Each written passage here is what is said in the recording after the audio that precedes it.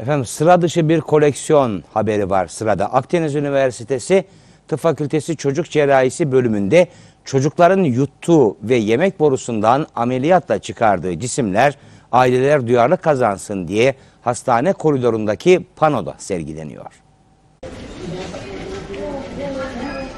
Akdeniz Üniversitesi Tıp Fakültesine görev yapan Çocuk Cerrahisi Bölümü Anabilim Dalı Başkanı Profesör Doktor Güngör Karagüzel, kısa süre önce emekli olan Profesör Doktor Mustafa Melikoğlu ile birlikte çocukların oyun oynarken yemek ya da soluk borularına kaçan cisimlerden bir koleksiyon yaptılar ve toplumda duyarlılık kazandırmak amacıyla bu koleksiyonu sergilediler.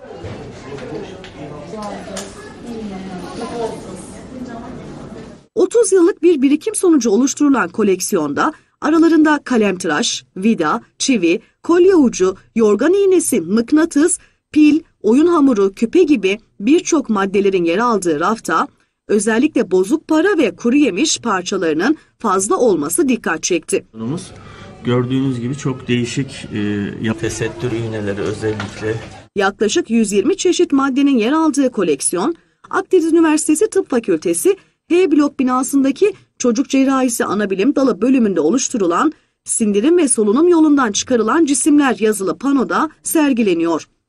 Açıkçası korktum. Hani e, çok tehlikeli şeyler yutmuşlar mesela. Burası yuttukları, onun nefes borusunu kaçırdıkları.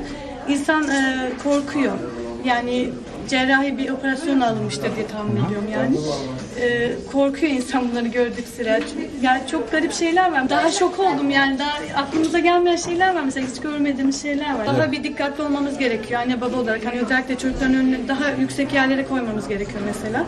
Akdeniz Üniversitesi Çocuk Cerrahisi Anabilim Dalı Başkanı Profesör Doktor Güngör Karagüzel, solunum ve sindirim yollarındaki yabancı cisimlerin çocuklar için ciddi bir sağlık sorunu oluşturduğunun da altını çizdi. solunum ve sindirim yollarındaki yabancı cisimler çocuklar için ciddi bir sağlık e, sorunu oluşturuyor.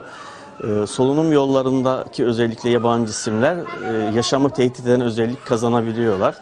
Bu çocuklar daha çok 6 ay 3 yaş arasındaki çocuklardan oluşuyor. Yani henüz çiğneme fonksiyonunu yerine getiremeyen, özellikle de e, kuru yemiş, e, fındık, fıstık, ceviz gibi kuru yemişleri ya da ağızda e, kolaylıkla kayganlaşabilen çekirdek, meyve çekirdekleri, organik e, beslen, e, besinlerin çekirdekleri karşımıza gelebiliyor. Bunlar iki şekilde genellikle klinik tablo olarak görüyoruz. Bir tanesi çok acil durum, yaşamı tehdit eden solunum durmasıyla, e, morarma, e, solunumun kaybolmasıyla gelebiliyor.